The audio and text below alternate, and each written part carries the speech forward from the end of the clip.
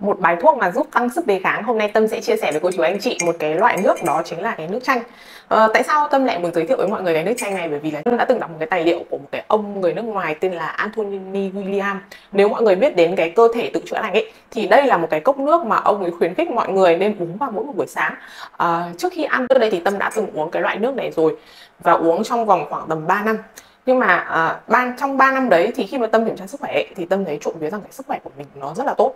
Nó không có gặp bất cứ một cái vấn đề gì. Sau đấy thì tại sao tâm lại dừng đang uống dừng mà lại dừng cái nước năm này là bởi vì là cái thời gian mà tâm uống cái nước chanh với cả cái uh, chanh với cả cái nước này không ấy thì cái răng của tâm lúc đấy nó rất là kém cái men răng đặc biệt là hai cái chỗ răng nanh này, này thì uh, nó cứ bị um, mòn cổ chân răng và mình không hiểu là cái lý do vì sao mà mình lại bị mòn cổ chân răng. Sau này mình mới phát hiện ra rằng là có thể mỗi một buổi sáng mình đã uống một cái cốc chanh mật ong à không có mật ong chanh với cả nước như này nó làm cho bị mòn cái cổ chân răng của mình. Vậy thì những ai muốn áp dụng cái bài này thì tâm khuyên rằng hãy nên bỏ vào đó một chút muối này một chút mật ong và hãy sử dụng ống hút để hút nhé và mình cũng không biết có phải là khi mà mình dừng cái nước chanh này không.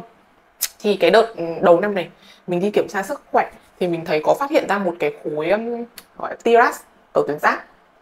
Mà trước đây thì à, cách đấy một năm mình đi kiểm tra sức khỏe sức khỏe mình hoàn toàn bình thường. Nếu mà mọi người muốn tăng cường sức đề kháng thì đây cũng có thể là một cái loại nước mà mọi người có thể tham khảo để sử dụng nhé.